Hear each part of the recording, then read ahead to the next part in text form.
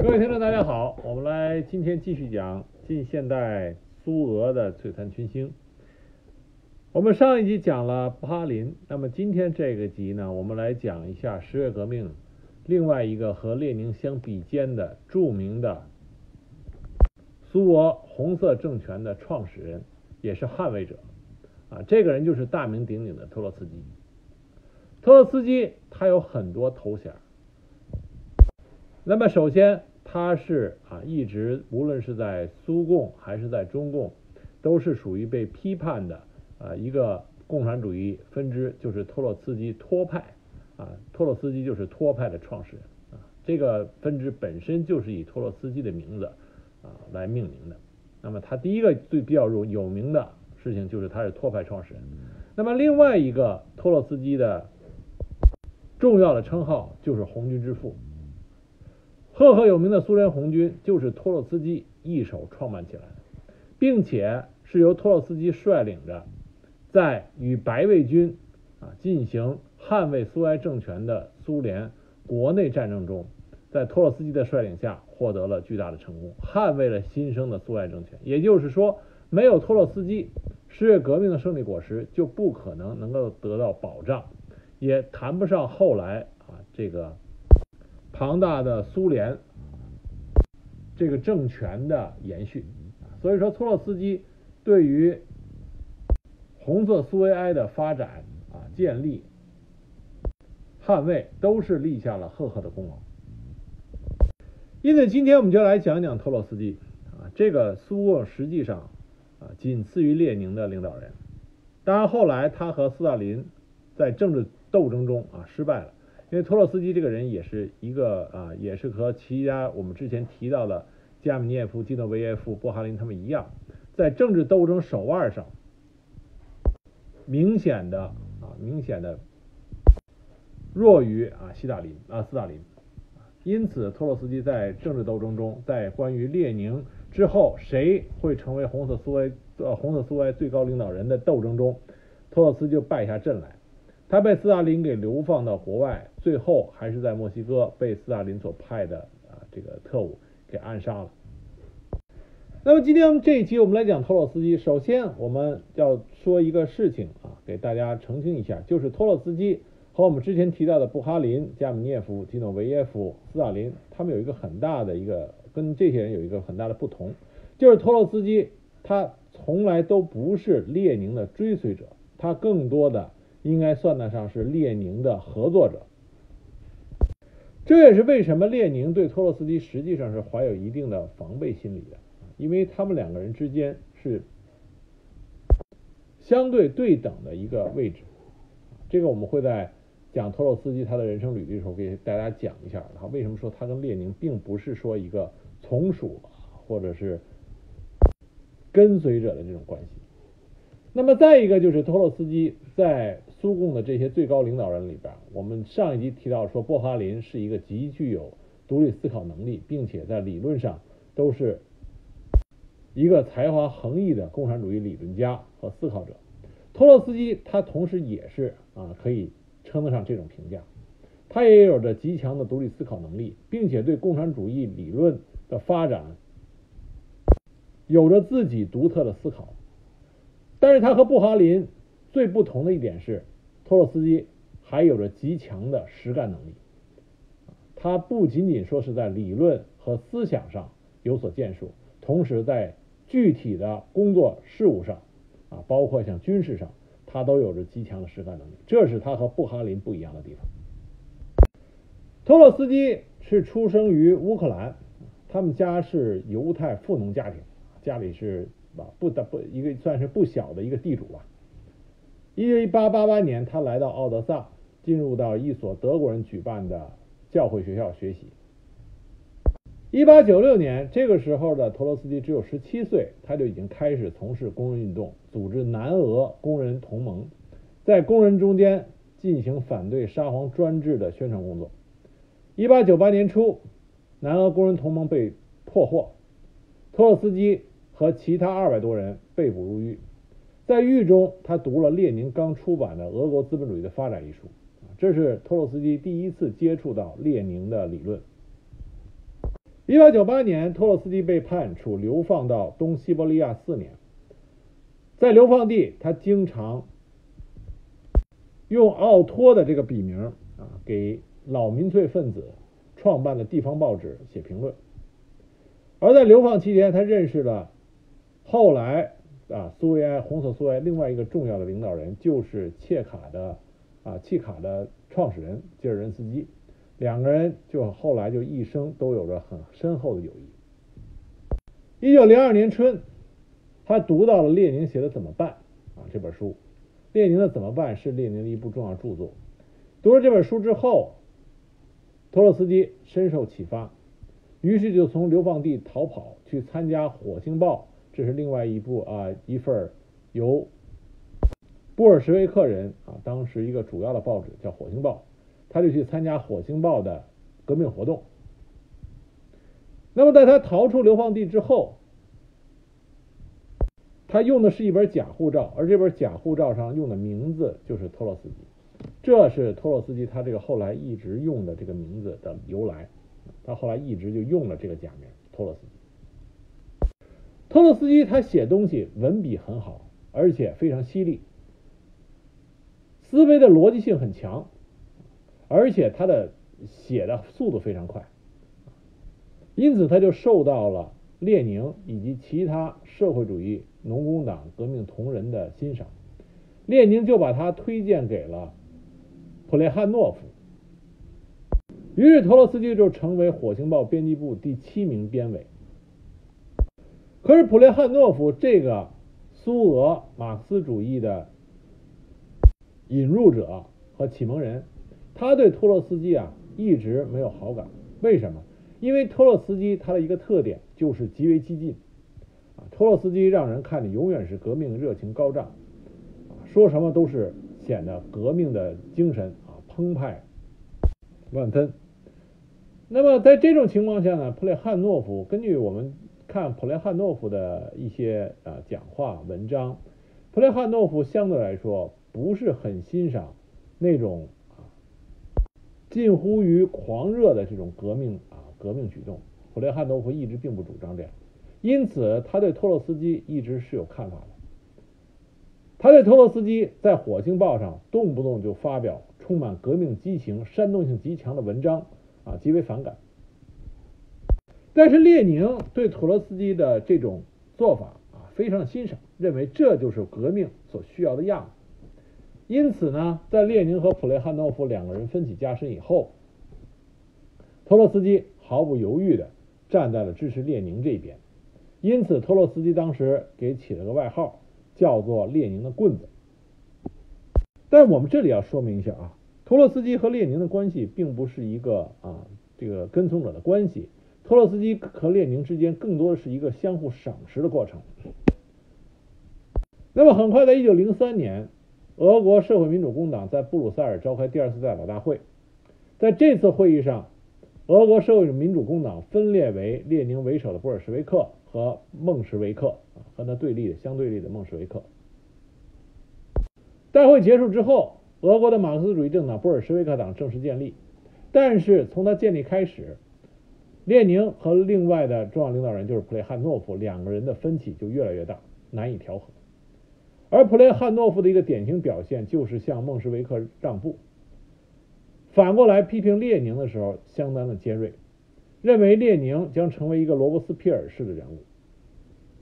那么很快，普列汉诺夫就转变成了孟什维克，成为孟什维克的思想领袖和理论家。这个时候，托洛斯基实际上依然和孟什维克保持着亲密的关系，但是因为普列汉诺夫不能不欣赏托洛斯基。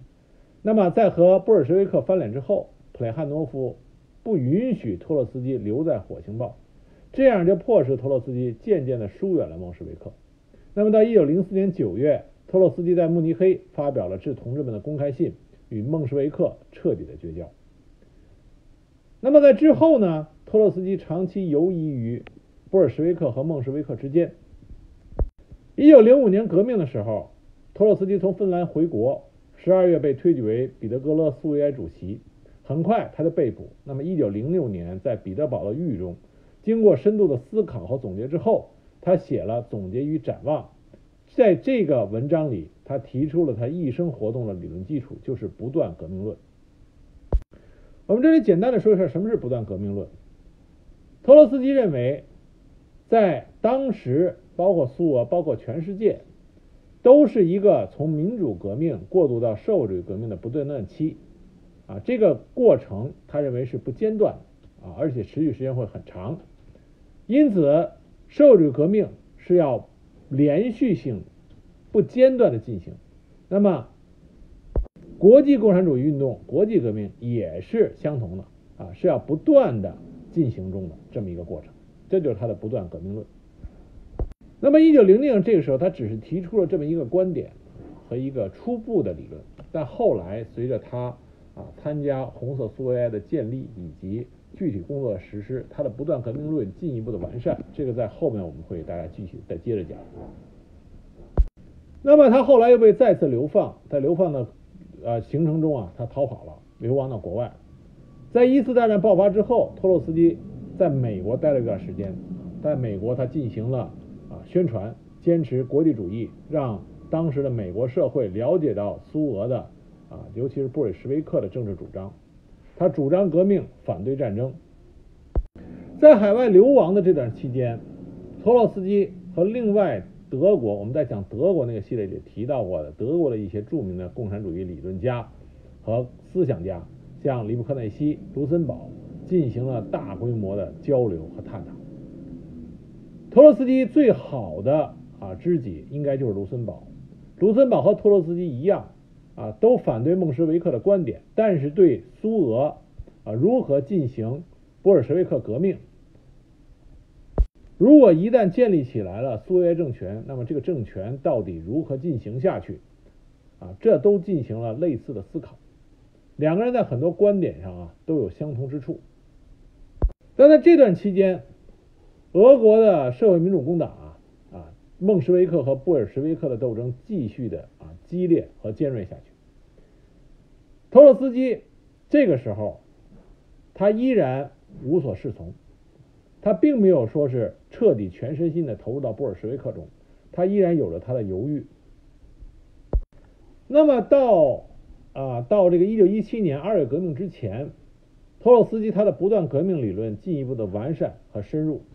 这个时候的托洛斯基成为要进行彻底的社会主义革命的一杆大旗。托洛斯基他的主张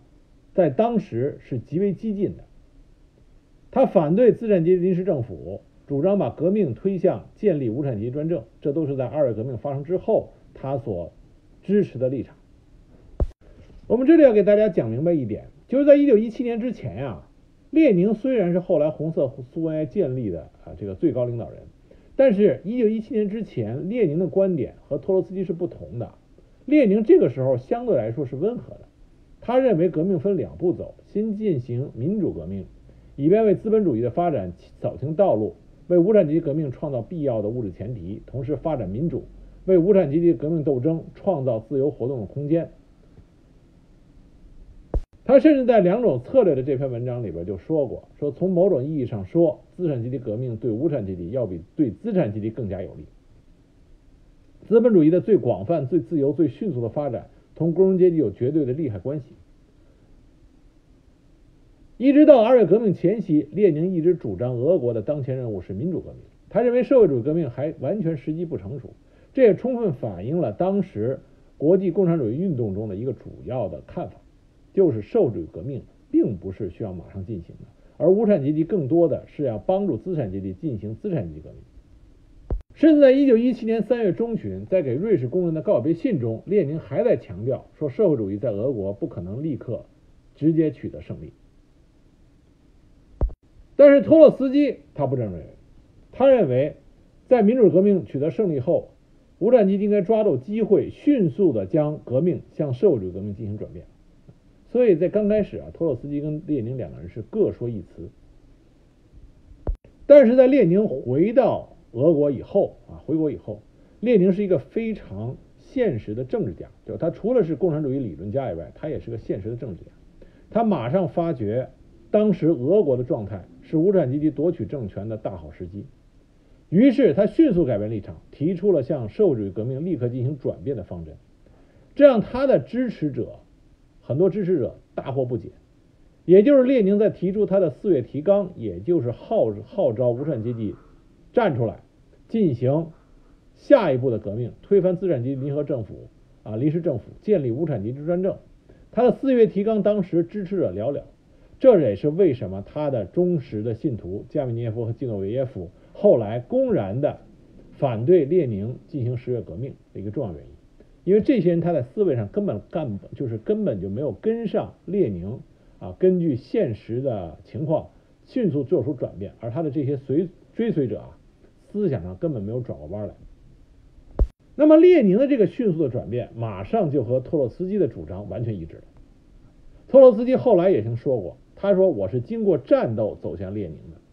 也就是说两个人是殊途同归。在十月革命之前，也就是二月革命之后，十月革命之前，两个人突然默契的走到了同一个。位置上，所以说从二月革命到十月革命，最后无产阶级走上政治舞台，建立起属于自己的啊无产阶级专政政权。从这点上，列宁和托洛斯基具有相同重要的位置。那么从具体的实际工作中来说，托洛斯基甚至比列宁要做的更多。二月革命之后，托洛斯基被推举为彼得格勒苏维埃执委之一。这个时候，托洛斯基在革命风潮汹涌的啊这个俄罗斯展现出他极具煽动性的宣传能力、演说能力。啊，据史料记载说，托洛斯基当时啊个人品格大放异彩，他在革命群众的威望连列宁都稍逊一筹。有的文章指出说，在托洛斯基令人眼花缭乱的成功的影响下，在他的人格魅力的影响下。不少接近托洛斯基的人都认为他是俄国革命的头号领袖，所以可见当时托洛斯基的威望之高。托洛斯基当时在布尔什维克党内，他所代表的是一股政治势力，这股政治势力的名字叫做屈连派。这个屈连派在刚开始啊，是在彼得堡成立的一个宗派组织，后来。列宁主张为了扩大布尔什维克的力量，就跟屈联派联合，而托洛斯基恰恰就是这个屈联派的啊这个主要领袖人物。十月革命啊，这个世界上第一次建立苏维埃政权的伟大的革命，那么这个重要的革命具体的实施者、组织者最大的功臣就是托洛斯基，这并不是列宁，列宁没有做具体的组织工作，是托洛斯基。啊，他进行了所有关于起义的领导组织工作，包括后来他的子弟斯大林也在他的文章中不得不承认，说起义的一切实际组织工作是在彼得格勒苏维埃主席托洛茨基同志直接指挥下完成的。我们可以确切的说，卫戍部队能够迅速的站在苏维埃这边来，革命军事委员会的工作之所以搞得这样好，党认为这首先要归功于托洛斯基同志。而另外一个斯大林的忠实信徒叫雅克沙多尔，他也在文章中写道：托洛斯基在十月起义中居支配地位，是起义的钢铁灵魂。因此说，十月革命的真正领导人是托洛斯基，这一点都不过分。这也是为什么托洛斯基在后来的苏维埃政权，甚至在全世界的共共产主义运动中都具有极高威望的一个原因。因为第一个苏维埃政权就是由他一手缔造成功的。那么在苏维埃政权建立之后，那么第一个要事啊，要事就是和德国关于战争到底应该怎么处理。那么我们前面提到了，列宁当时主张的是和德国签订合约，接受屈辱的条件。但在新生的苏维埃政权里边，他的这个意见并不是得到大多数人的支持。以布哈林为首的一批左派共产主义者反对签订合约，而托洛斯基的态度就非常暧昧。他主张停战、复员军队，但是他不主张与德国签约。而在他的身后也有着一批支持者，包括吉尔任斯基、岳飞、啊列斯廷斯基啊这几个中央委员。那么当时在一九一八年一月二日，苏俄政府召开中央和地方负责人会议，六十人出席会议，赞成布哈林主张的三十二人，赞成托洛斯基主张十六人，赞成列宁主张的仅十五人，也就是列宁的主张实际上属于少数。紧接着，在一九一八年一月二十四日，啊，苏俄政府召开中央会议，而在这个会议上，关于签约的问题，托洛斯基的主张以九票对七票多数通过，而列宁的主张仍然没有被啊大多数人接受。那么，在布列斯特谈判恢复以后。托洛斯基作为外交人民委员和谈判代表团团长，亲自去和德国人谈判。本来呢，在临行之前，托洛斯基跟列宁达成了一个约定，就是如果德国下了最后通牒，就让步签约。结果德国真的对苏俄下了最后通牒，可是托洛斯基这个时候却没有遵守与约呃与列宁的约定，他拒绝签约。毕竟布列斯特这个合约，谁签？谁就有可能被背上叛国者的这个骂名、卖国者这个骂名。那么托洛斯基当然没有签约，于是德国开始对苏俄大举进攻。在这种紧急的情况下，苏俄中央委员会进行紧急会议。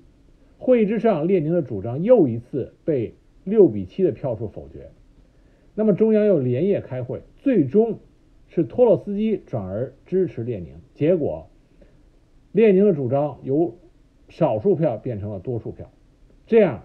才完成了签订布雷斯特合约这个决定。但是德国呢，并没有得停止进攻，反而提出更加苛刻的条件。那么列宁就主张提出的条件接受，因为这个时候和平最重要。但是大多数委员并不赞成他的主张。列宁当时甚至提出辞职来进行要挟。可是他的辞职，布哈林毫不在乎，斯大林也没有妥协。只有托洛斯基为了防止列宁辞职和党的分裂，于是他转变了态度，在他的影响下出现了四票弃权，最终列宁的主张获得通过。苏俄政府重新派出谈判代表团与德国进行谈判，在三月三日，布列斯特条约正式签订。布列斯特条约合约里边啊，我跟大家再具体再说一下，布列斯特合约签订之后，波兰、立陶宛、乌克兰、白俄罗斯和爱沙尼亚。部分地区上百万平方公里就割让给了德国，同时苏俄要向德国支付赔款六十亿马克。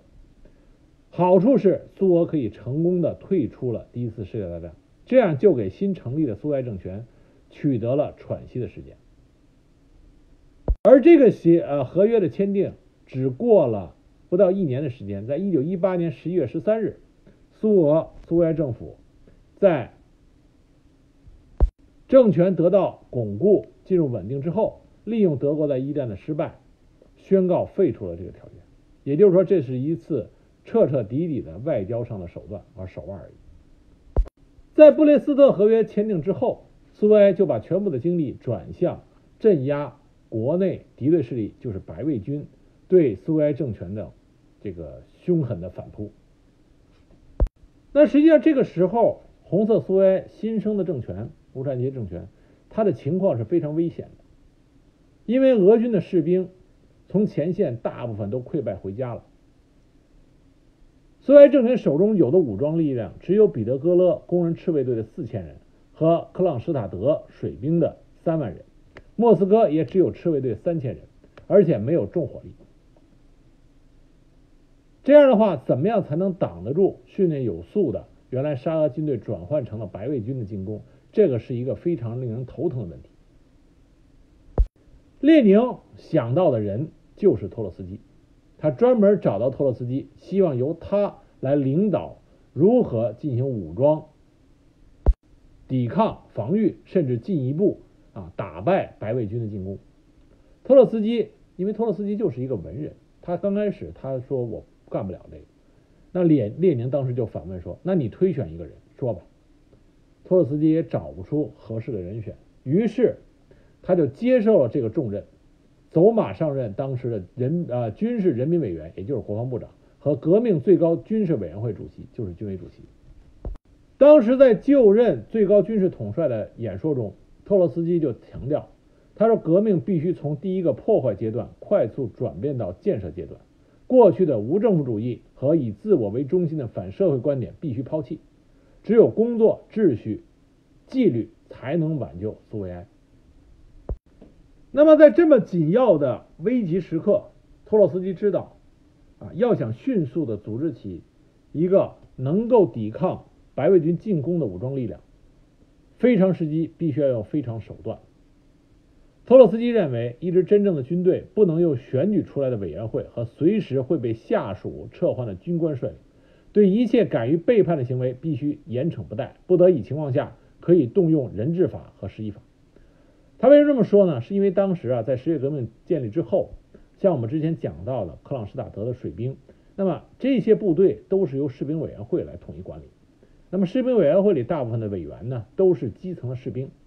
那么具有指挥军事指挥能力和经验的那些军官，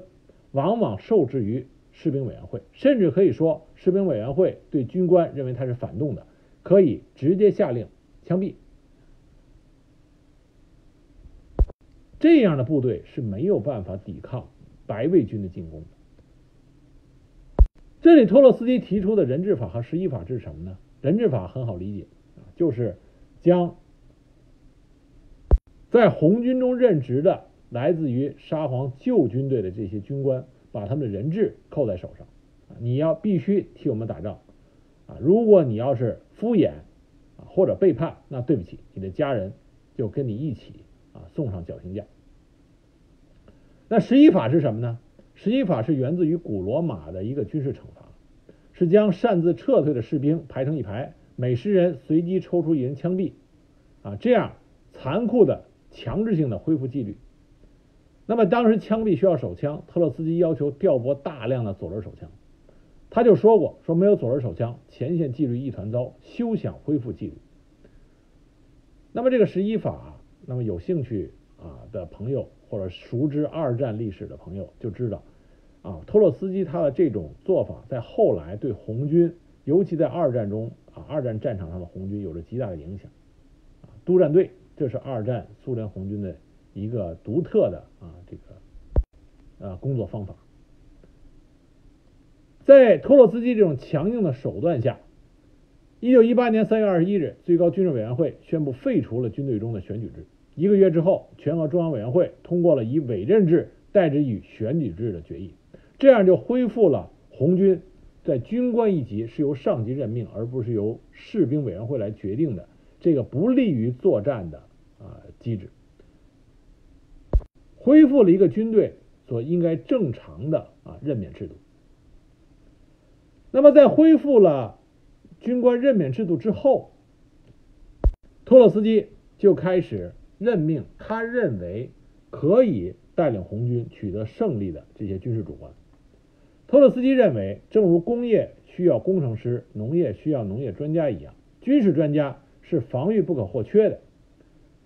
原来的赤卫队很难进行正规化改造，因为游击作风会传染正规部队。因此，他坚持解散游击队和赤卫队，确立集中统一编制的师团。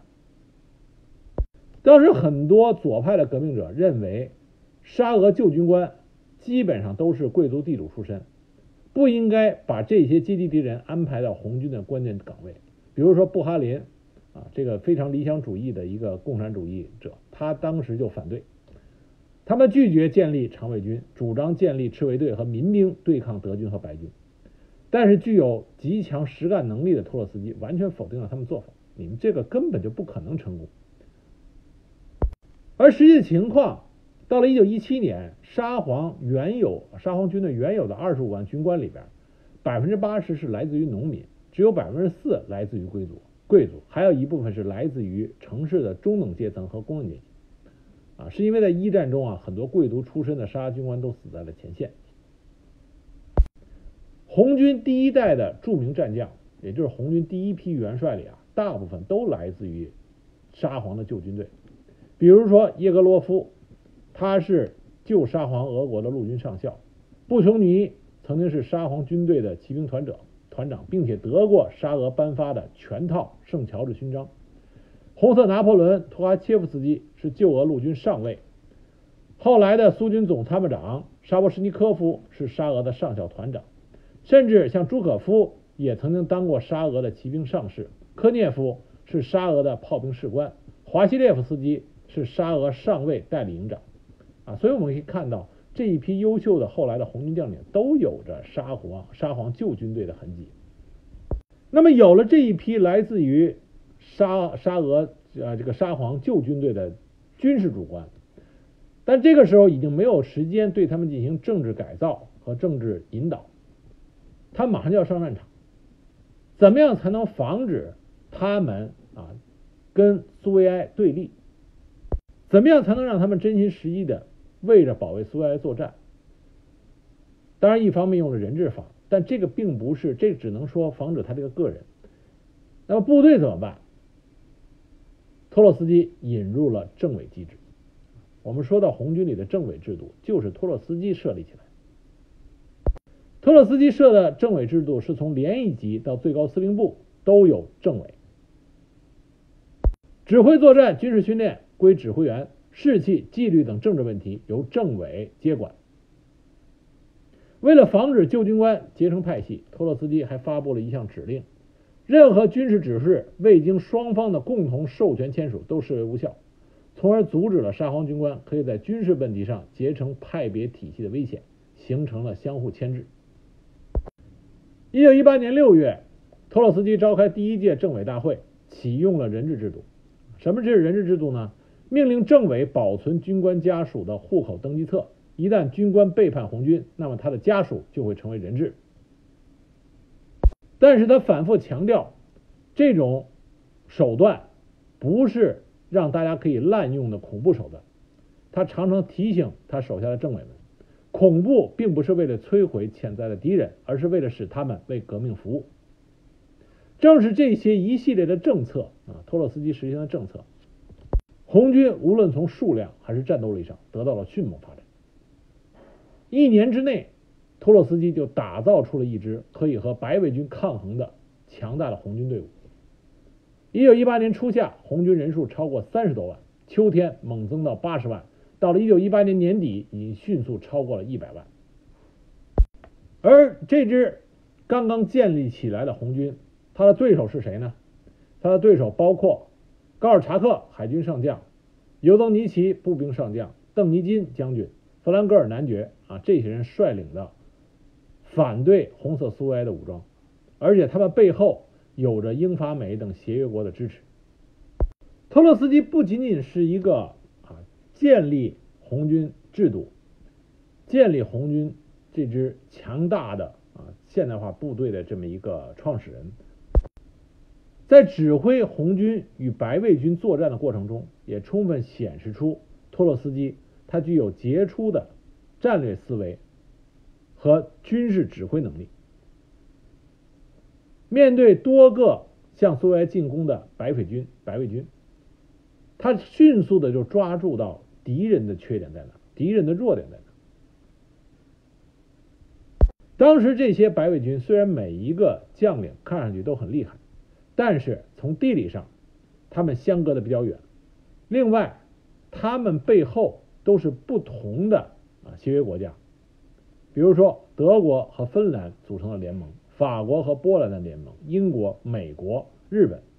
这些不同的背后利益者，就造成前线的这些白军将领之间缺乏团结。而这些白军，他的势力啊，形成了一个包围圈，把红军包在。内线，但是这使得红军也有它的优点。作为一个内圈来说，红军可以迅速的利用铁路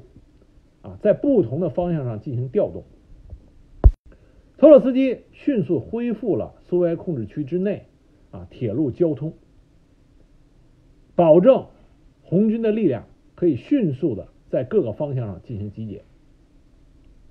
而他本身。也乘坐了一辆啊一列配有机枪的装甲火车，这个火车后来人就叫说托洛斯基的啊托洛斯基的火车，他就乘坐在这个火车上，顶着敌人飞机的轰炸，亲自赶到前线指挥作战。托洛斯基这位红军统帅如此的勇猛，也激发了他手下一批年轻的啊战将英勇杀敌。这其中包括文武双全的伏龙芝，比如说大胡子的骑兵猛将布琼尼，大纵深作战理论的首倡者叶格洛夫。这时候这些人只有三十多岁。那么像红色拿破仑图阿切夫斯基和布柳赫尔元帅，这时候就更年轻，才二十多岁。正是这群啊，在白卫军那些将领里面认为是娃娃将领的这批红军战将，把这些老牌的白卫军将领一个接一个的击败歼灭。一九一九年三月，高尔察克号称是俄国的救星，率领二十五万大军在西伯利亚发动猛攻。在托洛斯基的指挥和率领下，红军在四月转入反攻，几个月后就把高尔察克的老巢俄姆斯克给端了。第二年，高尔察克被抓处决。这一年的五月，尤东尼奇率领另一波白军大举进攻彼得格勒，兵临城下，形势危急。当时，彼得格勒的主席基诺维耶夫吓得不行，要求放弃彼得格勒，并且得到了很多人的支持。可是托洛斯基异常镇定。他骑着战马平定了城内的混乱，他让他的传令兵四处啊这个奔跑，然后告诉大家说不要怕，小伙子们，托洛斯基同志在指挥我们。同时，他将保卫彼得格勒的红军重整啊重重新整合了一番，与尤东尼奇拼死血战，最终将尤东尼奇击败，啊尤东尼奇逃亡。这是托洛斯基。指挥了一场非常优秀的城市保卫战。紧接着，在十月，邓尼金在西方十四个国家的支持下席卷乌克兰，直逼莫斯科。托洛茨基再次挥师，浴血南线，再次获胜。第二年三月，端掉了邓尼基的最邓尼金的最后据点，邓尼基逃亡。十一月份，红军横扫克罗米克罗米亚，自认为防守无敌的弗兰格尔男爵也被击溃。一九二零年，波兰军队跟着果乱出兵侵占乌克兰，托洛斯基指挥红军将其打跑。但在这个之后，这个时候啊，就是乌克兰战役击败了波兰军队之后，实际上俄罗斯领土上的白卫军反动势力的这个反抗已经基本上被平定了。但是因为红军取得的这一系列胜利，使得苏维埃红色苏维埃的这些领导人们，尤其是列宁，革命热情高涨。列宁这时候就认为红军的力量可以拿下波兰。托洛斯基对此认为是不可行的，因为托洛斯基亲自递到了红军，并且指挥着红军做进行了作战。托洛斯基深知红军的实力到底如何，他认为出击波兰啊，这并不是一个明智的选择。但是他也没有说啊极力的劝阻，因此红色拿破仑托托阿切夫斯基率领部队进攻华沙，结果兵败华沙城下。啊，这个我们后来再讲，以后再讲托阿切夫斯基的时候，具体给大家讲一下那个过程。但是恰恰是波兰的兵败，给托洛斯基在军事上的这个名誉啊带来了损失，而列宁呢？把波兰兵败也推给了托洛斯基，他当时对托洛斯基就给了评价，说能力最强，但过于自信。但尽管如此，啊，包括列宁、斯大林这些人在内，他们都不得不承认，保卫红色苏维埃的红军，他的缔造之功，他的胜利之功，托洛斯基。都是当之无愧的最大功臣。列宁就说过，创造红军的功劳，托洛斯基比任何人都大。他有一个令人瞠目结舌的速度，建立起来了一支庞大的、可以捍卫苏维埃政权的苏联红军。他成功的团结了这支军队，使他能够遵守纪律。并且能够保持住这支军队的内聚力和士气，而其中最惊人的成就，莫过于他在征募和运用前沙皇军官方面的成就。他任用了一千多个来自于沙皇旧军队的将官，这些军官占据了红军各级主要的军事指挥官的大多数。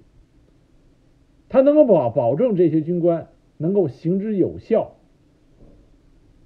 尽心尽力的在与白卫军的作战中，为保卫苏维埃政权做出贡献。那么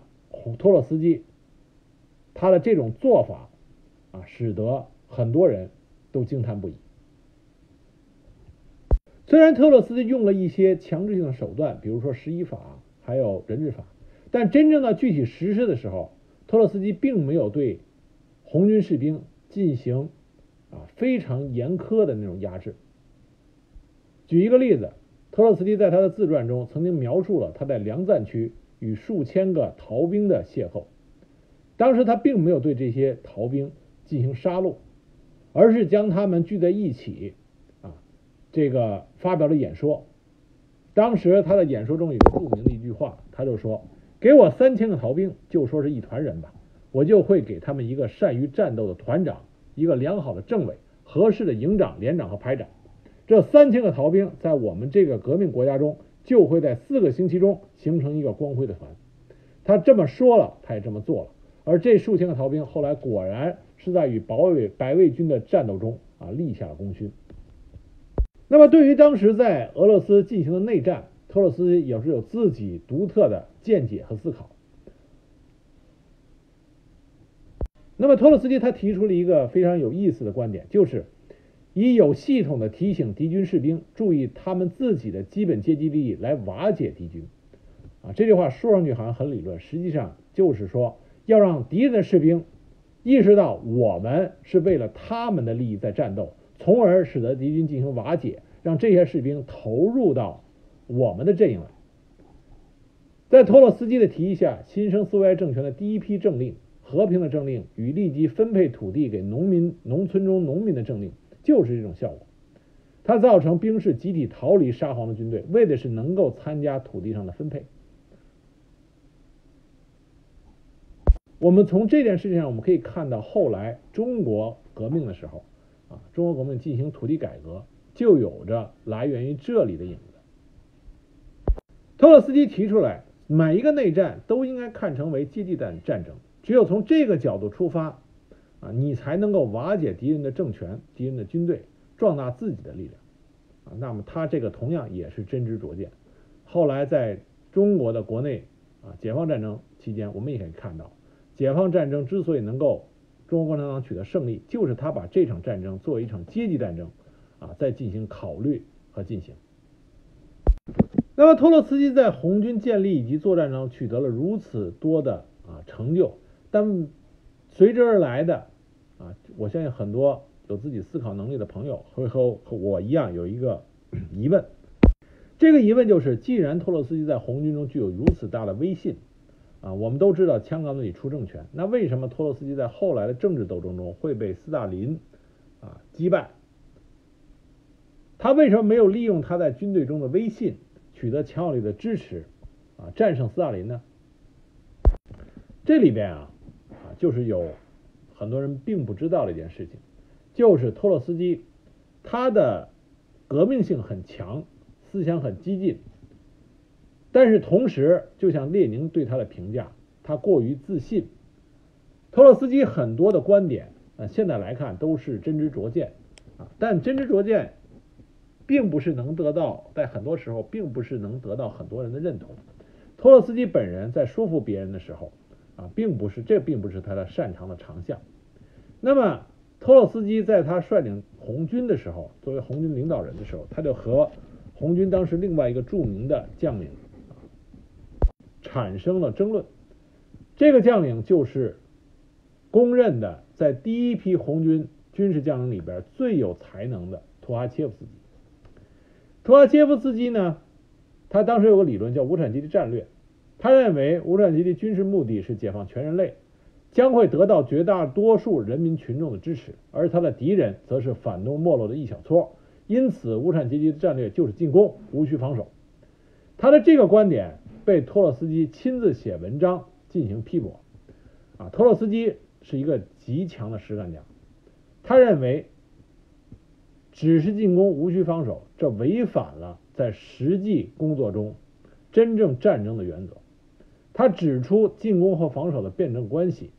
即使是无产阶级军队也不可能彻底的放弃防守而完全是进攻。但是托洛斯基的这种反驳意见。并没有真正的说服托阿切夫斯基，甚至包括图阿切夫斯基背后啊支持图阿斯图阿切夫斯基这种无产阶级军事科学理论的一大批红军将领。因此，托洛斯基和当时红军军队中的这些重要的元帅们，实际上并没有有着一个很融洽的关系。所以说啊，托洛斯基虽然是红军的缔造者，但是他他跟红军中的这些军事将领啊一些实力派，并没有有着良好的那种上下级的个人关系。因此，在他和斯大林争斗的时候，他并没有得到红军方面啊强有力的支持。再加上之前提到的他所实行的人质法、十一法啊，在有些危急时刻，他处理事情的时候过于的严酷。啊，这些都造成他在红军中支持者并没有我们想象中的那么庞大和众多。内战结束之后，苏维埃政权将精力恢复到国民经济上来。这个时候的这个苏俄呀，因为实行战时共产主义政策，我们之前在谈啊，无论是谈谈列宁还是在谈这个布哈林的时候，都提到了。战时共产主义政策对苏俄的经济有了极大的摧残，而发现战时共产主义政策的弊端，第一个正是在党内提出对他的批评和寻求改进方法的人，就是托洛斯基。托洛斯基在一九二零年在乌拉尔地区进行考察以后，返回啊首都，在俄共政治局会议中，首先提出了要实行渐进工啊农业税。但是他遭到了普遍抱乐观态度的其他中央委员的反对。但是托洛斯基呢，并没有啊这个知难而退，反而是进一步在更多的场合会议会议上，对战时共产主义进行批评。那么后来呢，又因为我们之前讲到的啊施朗施呃克朗施塔德水兵暴乱事件，最终让以列宁为领袖的当时红色苏维埃的领导层。啊认识到战时共产主义必须被终止，新经济政策这样才开始实行。那么，在列宁不能进行工作啊，退出了领袖政治领袖舞台，关于列宁的继承人就进行了政治上的争斗。托洛斯基呢败在了斯大林的手下啊，主要是因为托洛斯基在政治手腕运用上啊远远逊色于斯大林。那么，另外一个重要原因就是因为啊托洛斯基。他反对新经济政策。托洛斯基他认为，在国内已经稳定之后，红色苏维埃它的国内经济政策应该转向于工业化。他主张应该把国家经济的发展重点放到城市的工业化进程上，实行计划经济、扩大工人阶级民主啊等等一系列政策。相对于对于农民来说，他更多的是将农民啊广大农民放在了支持国家工业化啊这么一个辅助作用上。那么在这一点上，他遭到了啊布哈林、斯大林他们的一致反对。当然，斯大林的反对更多的是通过他政治上的考虑，而布哈林是在理论上完全不同意托洛斯基的观点。我们这里不来评说托洛斯基这种观点是对是错，我们只来说他为什么会提出这个观点。这就来自于托洛斯基一直主张并且坚持的不断革命理论。不断革命理论和共产主义必须要在啊不同的国家啊一起成功，这是两个托派理论的基石。不断革命理论并不是托洛斯基他提出来的，这在马恩著作里边。在马克思恩格斯一八五零年《共产主义同盟中央委员会告同盟书》里，就提出了不断革命、不间断的进行革命的主张。而托洛斯基最伟大的思考和贡献，就在于他把不断革命这个理论具体的运用到了俄罗斯革命中来。我们这里再跟大家说一下，我们在提到托洛斯基的这个理论，不是在说他的对错。我们在说的是啊，希望大家能够了解托洛斯基他深刻思考的这个方法和能力，这是有助于我们来独立的思考有关共产主义运动的这些事情、理论、事实啊，形成自己的观点一个重要的借鉴。那么托洛斯基对于不断革命的思考来自于哪儿呢？他认为，即使在俄罗斯无产阶级执掌政权，但是革命不能解决他当前的资产阶级任务。当无产阶级掌握政权以后，又不能以革命的资产阶级范围来限制自己。恰恰相反，无产阶级先锋队正是为了保证自己的胜利，还在他统治的初期，就不仅要最深刻的侵犯封建所有制。而且要最深刻的侵犯资产阶级所有制，在这种情形下，他不会和那些在无产阶级革命斗争初期支持过他的一切资产阶级集团发生敌对的冲突，而且他会和那些协助他夺得政权的广大农民群众发生敌对的冲突。在农民占人口绝大多数的落后国家内，工人政府所处地位的矛盾，只有在国际范围内，即在无产阶级世界革命舞台上才能求得解决。那么他的这个主张呢，简略来说三个重点：第一个，俄国革命是民主革命，必须由无产阶级来领导，这个在十月革命中已经实现了；第二个，无产阶级一旦取得政权，就必须向社会主义革命转变，这必然要侵犯资产阶级所有制，从而也同广大农民发生敌对冲突；三，俄国无产阶级必须得到西方先进国家胜利的无产阶级的支援，才能保持政权，坚持下去。那么托洛斯基这个观点呢，他既是正确的，也是不正确的。为什么这么讲呢？因为他这个观点呀，有一个先提前提条件，就是无产阶级夺得政权。而这个无产阶级夺得政权，在俄罗斯的表现，就像列宁所说的，它实际上是在帝国主义的最薄弱环节，也就是说，是在资产阶级生存的物质基础还没有极大的发展的时候。就由无产阶级直接夺取了政权。那么我们说托洛斯基他的这个理论正确的地方在哪呢？是说他认为在已经实现了在苏俄建立了无产阶级专政体制以后，那么他所说的这些都是正确的。无产阶级是以公有制为基础的阶级，它天生就是和以私有制为基础的资产阶级是相互对立的。农民本身就是建立在私有基础上的啊，这个社会阶层，也就是说，无产阶级要实行社会主义革命和社会主义体制，它自然就会与以私有制为基础的农民产生极大的分歧和争论，而这个争论和矛盾所在，必然造成革命的过程不会停歇，这是托洛斯基所说的不断革命的由来。那么，无产阶级在政权上跟广大农民产生了敌对冲突，而像苏俄这种资本主义还并没有蓬勃发展的国家，工人阶级的力量和农民阶级相比是弱小的。那么，你要想稳定住政权，你只有两种可能性：一种是继续民主革命，但是民主革命持续的时间越长，共产阶呃无产阶级实行专政的合理的转变理由就越薄弱。那么这对共产共呃无产阶级的专政啊是不利的。那么另外一方面，你要想迅速的转变成社会主义革命，那怎么样能够解决自身力量不足这个缺点呢？你的方法就只有到国际上寻求帮助，而国际上能够给你提供帮助的只有西方先进国家。为什么说西方先进国家呢？因为只有资本主义得到蓬勃发展的国家，无产阶级的力量才会相对于强大。因此，你只有得到他们的支援，才能够保持政权，并且坚持下去。所以，托洛斯基他的不断革命理论是一个逻辑性非常强的一环套一环的推理。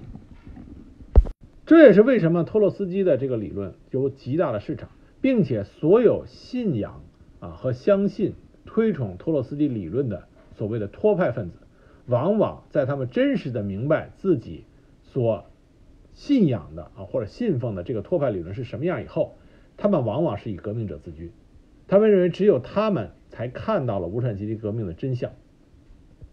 所以，如果有兴趣朋友可以看看托派分子的啊一些史料，我们可以看到托派分子在他们被啊定性为托派分子以后，往往并不是一种沮丧，而往往是一种引以自豪。他们认为被定义成托派分子，能够成为托洛斯基的同路人，往往是一种感觉，是一种荣耀啊。这也是一种很独特的现象。但这里不可否认的一件事情就是，托洛斯基他所提出的这种不断革命理论，以及在全世界啊推行共产主义运动，在全世界同时获得共产主义的胜利啊，这种理论的话，如果让托洛斯基成为当时苏联的最高领导人，他之后给全世界范围中带来的一个动荡，将会比斯大林要更为剧烈啊。斯大林他相对于啊托洛斯基提出的这个全世界。共产主义啊，共同胜利的这个理论来说，斯大林他所的他的理论是指啊，以苏俄作为世界共产主义的核这个领导核心啊和社会主义运动的中心，全世界的共产主义运动都应该秉着一个保卫啊苏俄这么一个指导方针来进行共产主义运动。显而易啊，这个比较浅显的讲，就是说托洛斯基说大家一起干啊，我们同时不分彼此，不分领导，不分随从，大家一起干共产主义。那么斯大林他的观点是，你们大家围着我干，在我的领导下干，你们所有的所做的一切都应该是为了保护我啊，这就是他们两个人的区别。那么托洛斯基在和斯大林在权力斗争上失败之后，在一九二七年。一个事情的发生，使得托洛斯基最终不能被斯大林融于苏联。这个事情就是跟中国有很大关系，就是一九二七年四一二反革命事变，中国的第二次革命失败，中国共产党遭到以蒋介石为首的国民党啊血腥的镇压和屠杀。这意味着斯大林控制下的第三第三国际，就是共产国际啊，当时在中国所实行的政策。是出现了极大的失误的。那么在这之前，托洛斯基曾经屡次提议要中共退出国民党，采取独立的工农革命政策。而四一二反革命事呃事变，中国共产党遭到血腥屠杀，恰恰验证了托洛斯基之前他所提出的观点是正确。在这种情况下，斯大林引起了他自己本身就引起了恐慌，因为他怕啊，他怕托洛斯基。和基诺维耶夫这些人利用这件事情动摇他在党内的权威，而托洛斯基恰恰也利用这一点，在十一月七日纠集了追随者进行了游行示威，公开反对斯大林。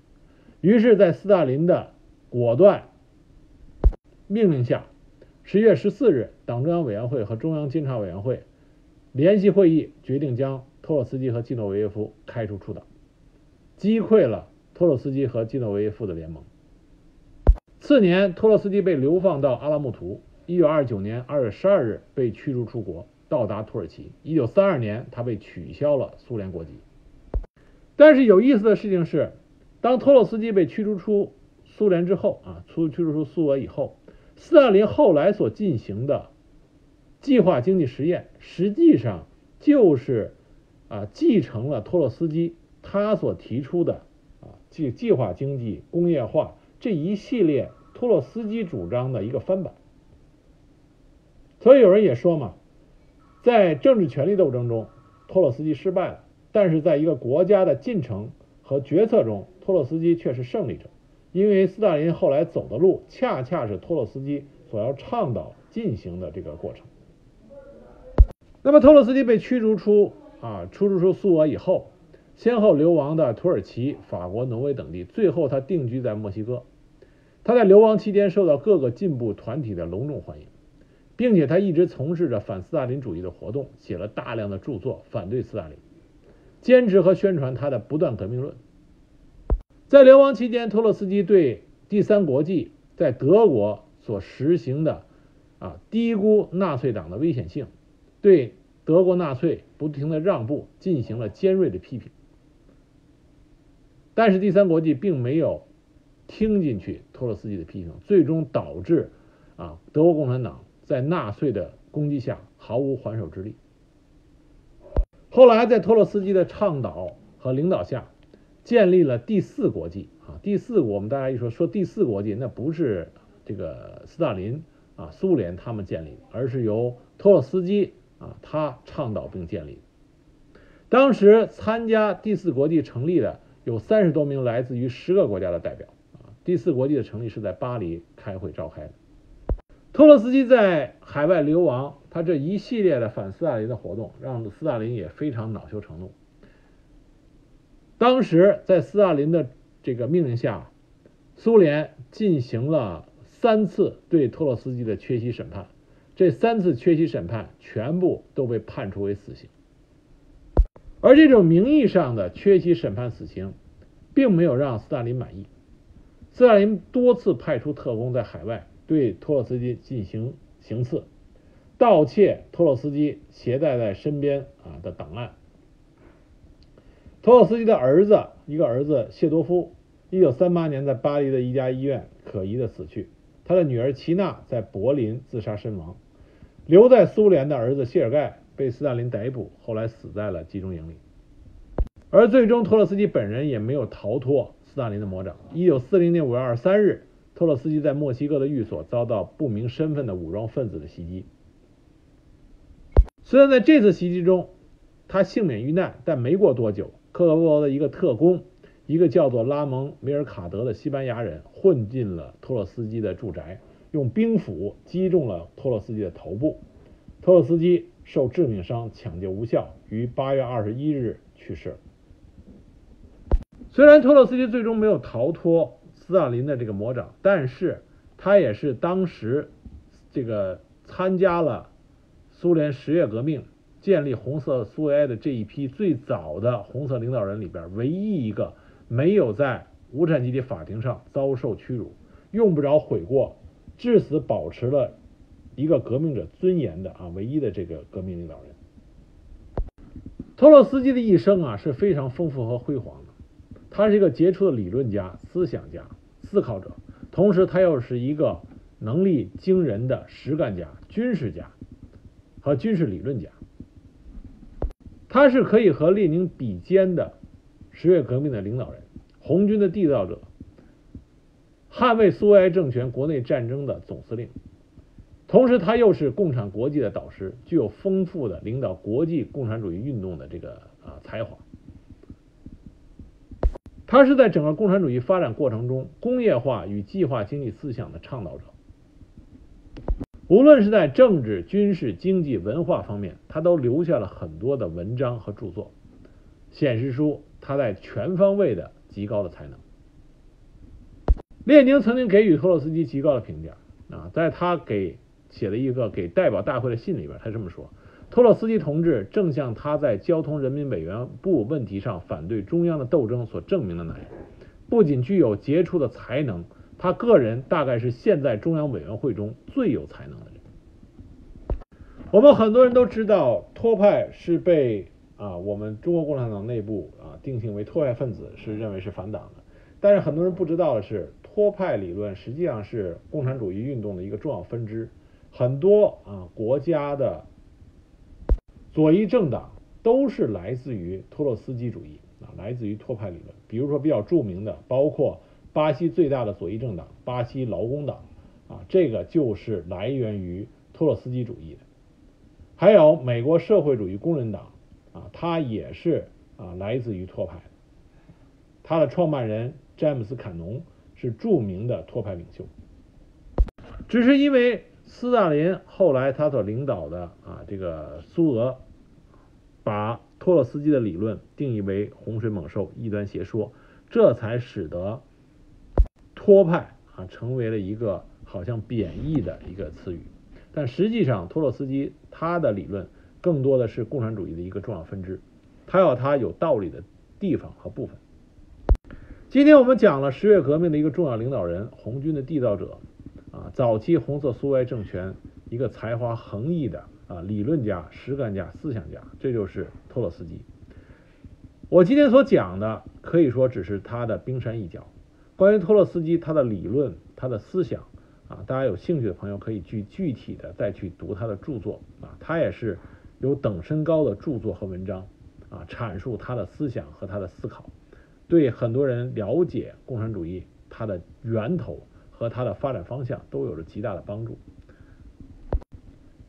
那么，托洛斯基在整个共产主义运动的发展过程中都有着举足轻重的地位啊，尤其是在苏俄啊乃至整个国际啊共产主义运动中都是不可替代的。所以他可以算得上在十月革命中啊，十月革命和早期的红色苏维埃啊苏维埃中和列宁相比肩的啊一个伟大的领导人啊。希望通过这一集，大家能有一个对他的一个初步化的了解和认识。